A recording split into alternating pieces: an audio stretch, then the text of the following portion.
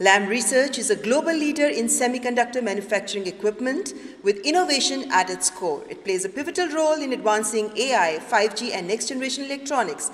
Ladies and gentlemen, please welcome Mr. Tim Archer.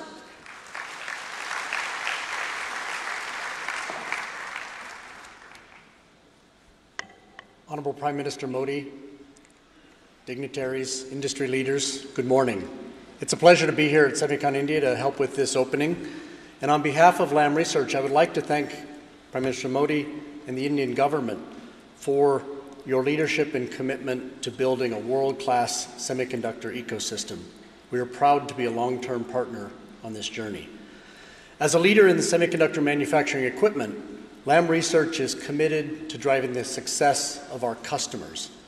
And as the industry grows towards this $1 trillion mark and beyond, uh, we continue to invest in technology, talent, and supply chain around the world, including here in India, as the country escalates its role in the industry.